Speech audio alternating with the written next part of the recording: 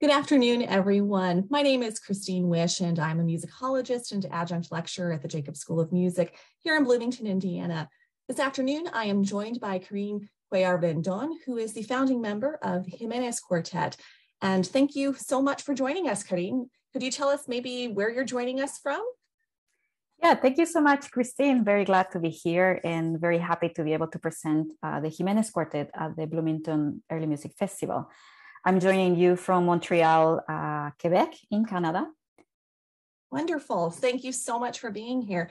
So, this is a new, a fairly new quartet, um, and I understand that you all have had just a wonderful year um, as an emerging artist with Early Music America. Could you tell me a little bit about the formation of the Ximenez Quartet, maybe why you've taken this name as the Ximenez Quartet and what brought you all together? Sure. Um, I started researching the music of Ximenez Quartet as part of my degree at uh, McGill University and decided to assemble a uh, group so then we can uh, so then we can perform all the music that I was researching.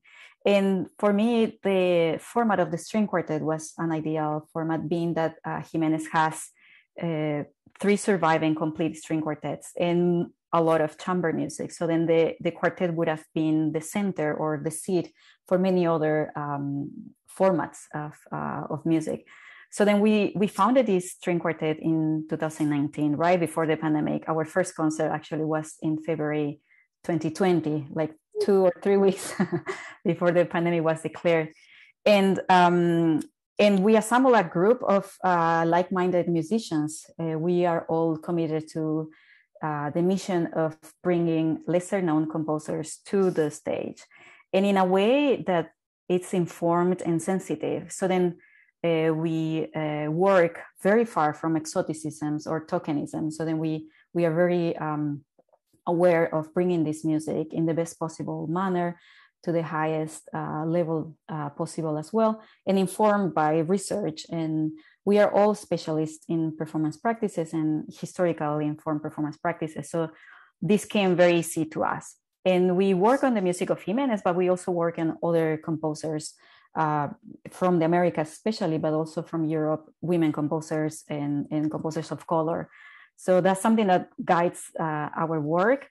Um, the members of my quartet are Simon Alexandre, he's uh, the second violin, uh, Jimin Dobson, the violist, and Jessica Korotkin on cello. Wonderful. I am so excited. I'm I can't wait to hear this concert.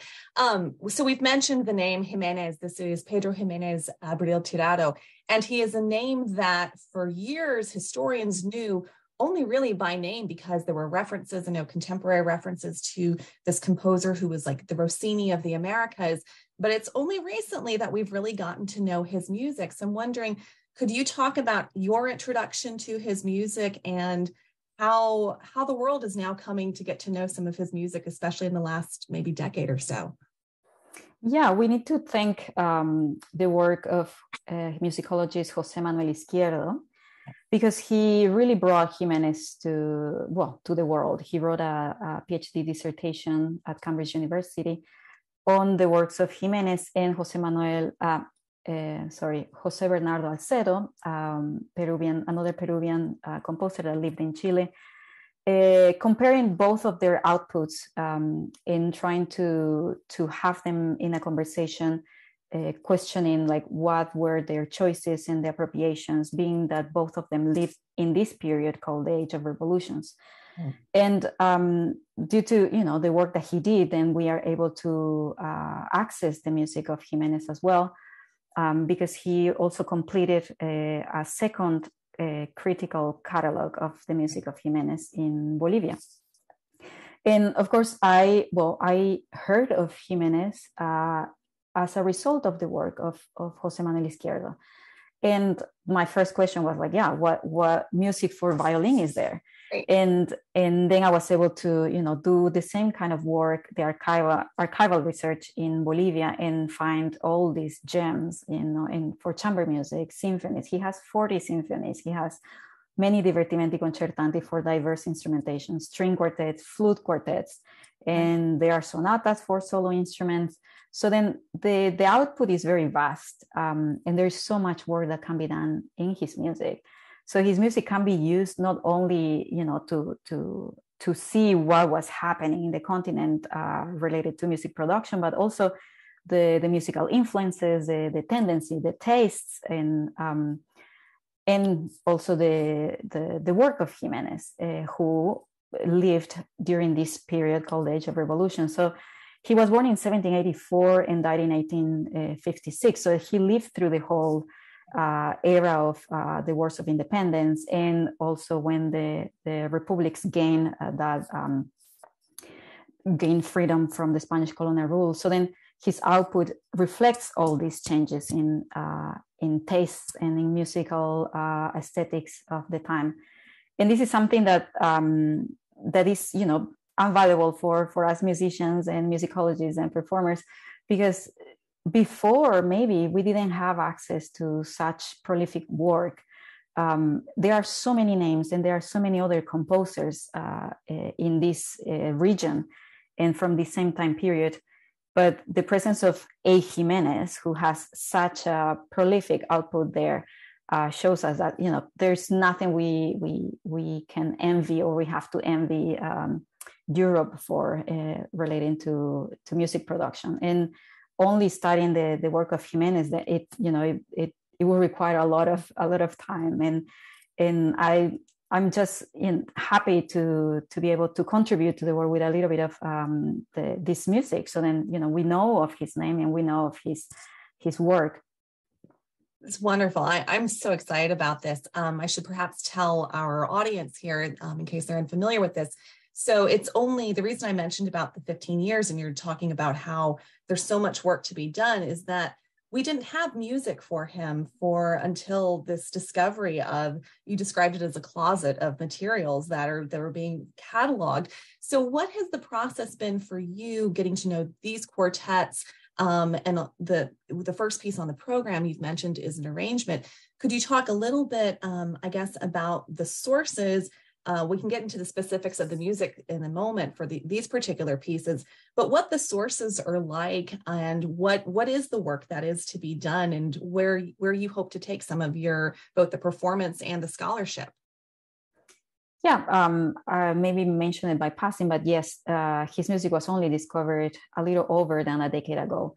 And it was just by chance in a closet in a house someone inherited in Sucre, Bolivia and yeah before we only had mentions of him but then we had all the work and i was able to see all of it uh, in my visits to the archives in bolivia. And all his music survives in part forms. They are not uh, scores at all. And the, the problem with this discovery is that his music uh, was sold by the kilo or by the bunch. So then much of the parts are um, distributed or have been you know mixed with other music. So then the work of trying to compile together a whole piece uh, or a, a, whole set of parts um, uh, is part of the, the work that we need to do as performers if we have to perform this we want to perform this music.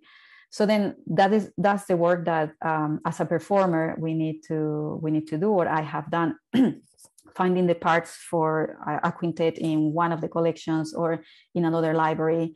And or you know uh, in different uh, circumstances. So then his music of course survives in manuscript form. He wasn't able to publish music because at this time there were not uh, printings in in south america. We know of the first printing maybe in 1825 in Bolivia, and that was the first uh, newspaper that was printed in a couple of months after the, the, the independence of the country. But it wasn't used for music uh, until the later part of the of the 19th century. So then, most of his music survives in manuscript form.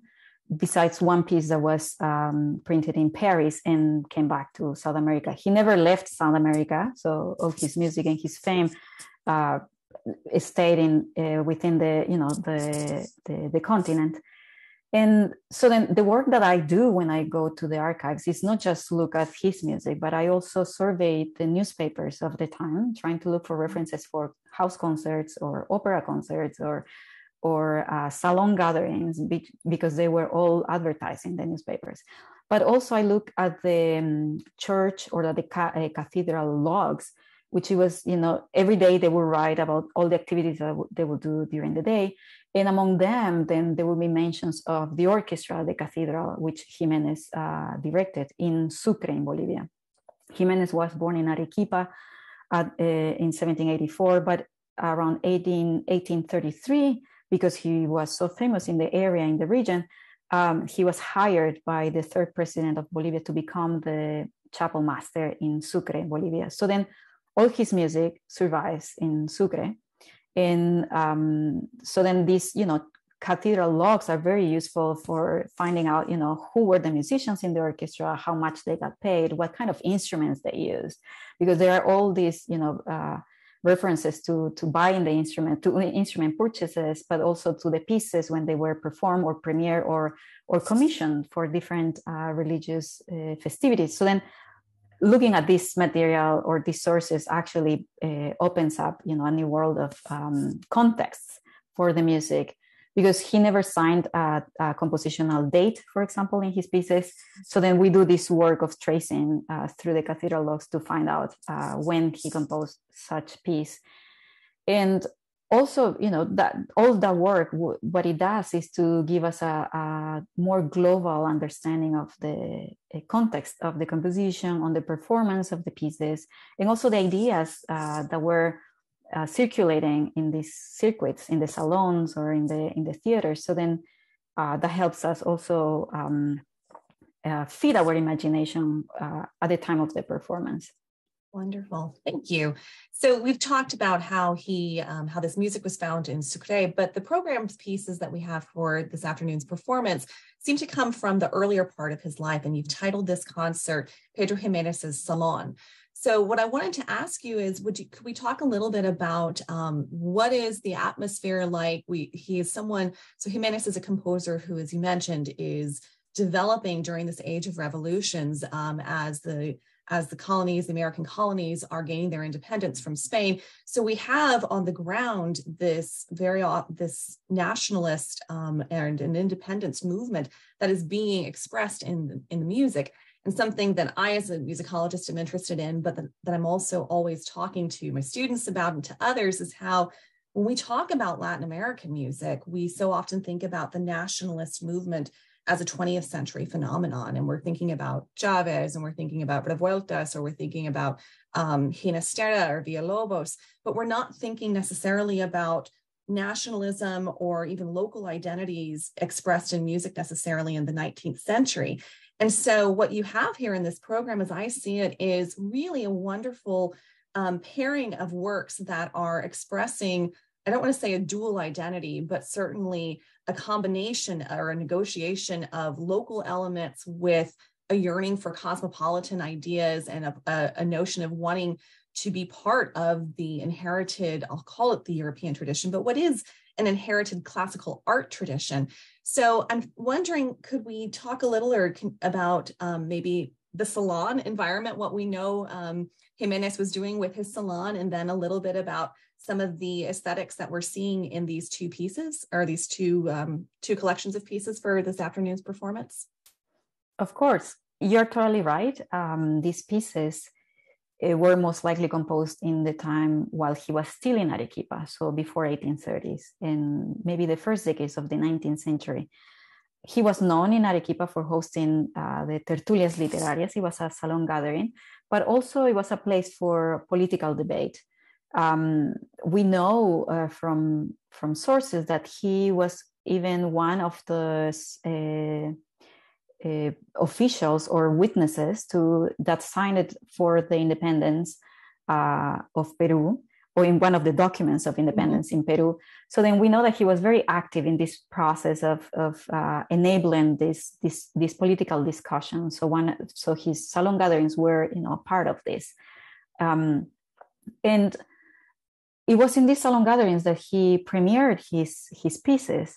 And the, the music that we have decided to present in the concert today are precisely like the, uh, the Cuarteto Concertante para dos violines, violí, violoncello, opus 55, a string quartet that um, was, com- was composed to be performed at the salon gatherings with him playing the cello. He was both uh, guitar and cello, uh, a very able guitar and cello player.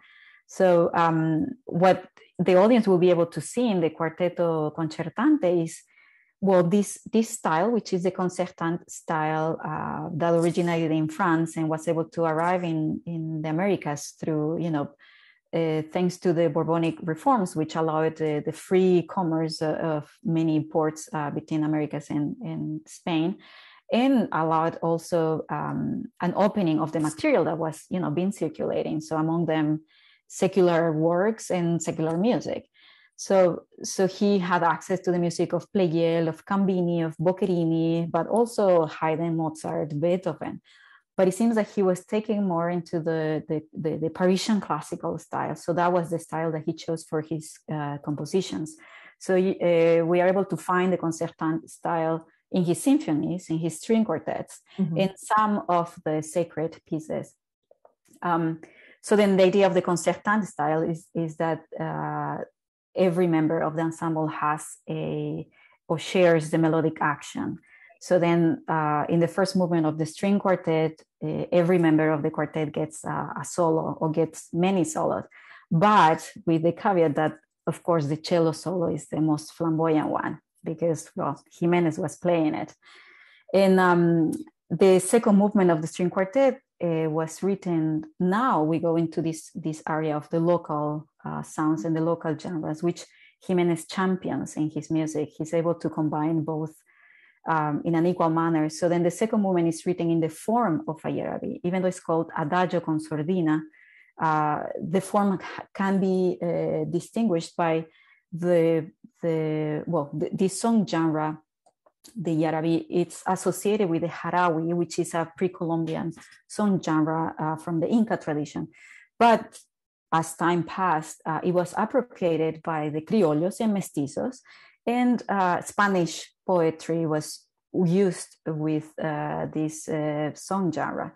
And by the time of the independence revolutions, then the Yarabi had uh, become like a staple of the independence cause and so then the Yarabi, uh, well, in this quarteto was, you know, part of that that idea of the uh, representing the yearning of freedom or the yearning of a new a new beginning.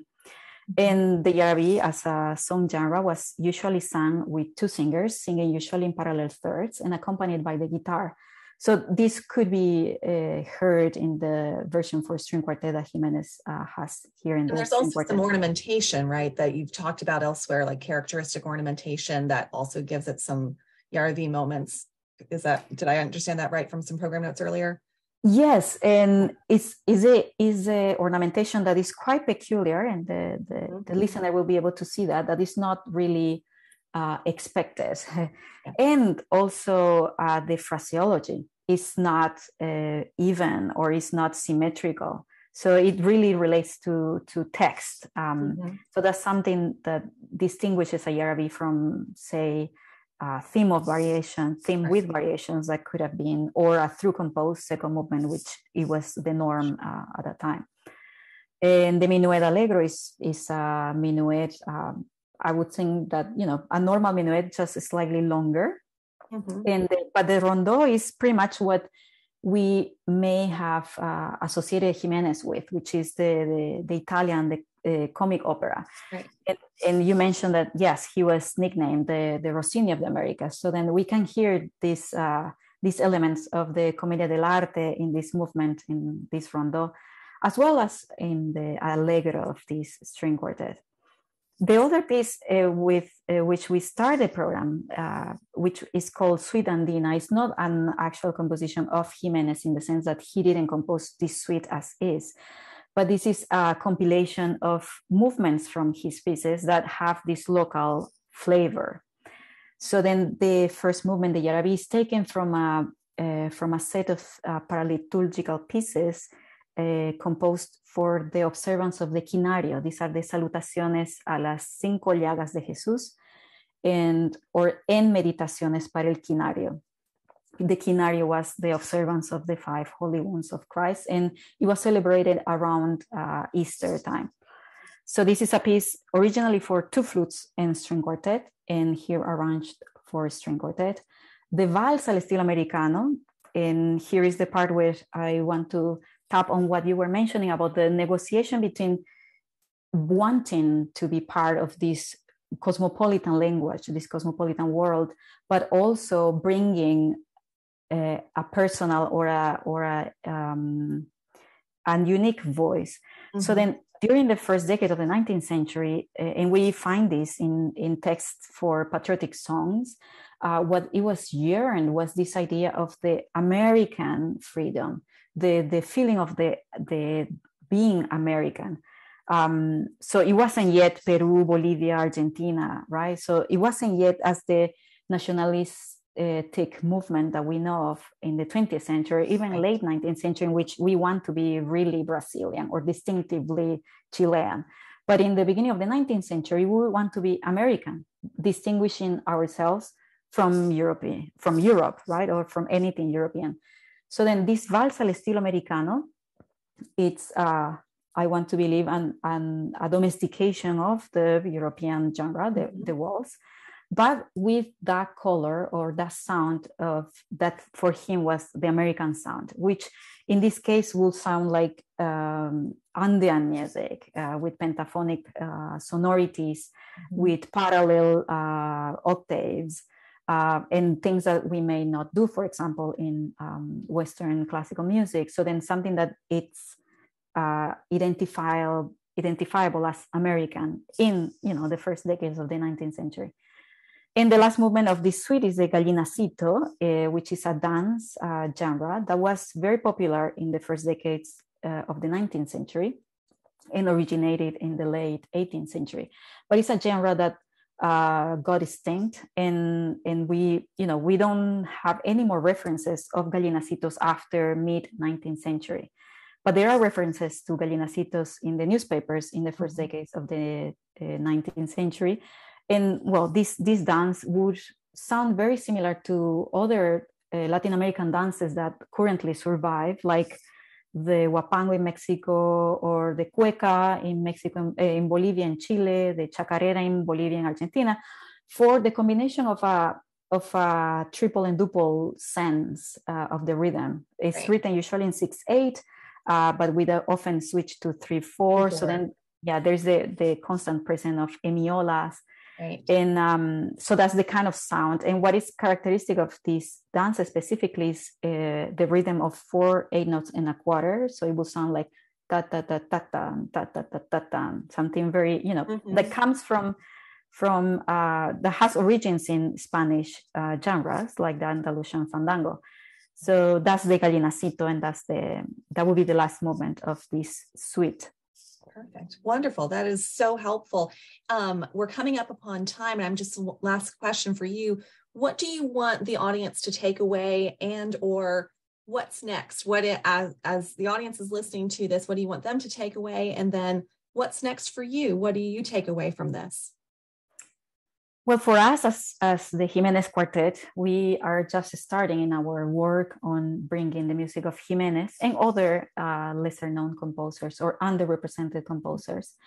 And uh, our idea is that this music uh, can, well, our mission is that um, we, we present this music in a way that doesn't need to be nor exoticized nor tokenized for it to be taken seriously in the sense that Ximenez and other composers from Latin America, and uh, they deserve, you know, a place in our programs. They deserve a place in our stages. They deserve a place in our music curriculums, because they do reflect the ways, you know, society worked and developed in past years.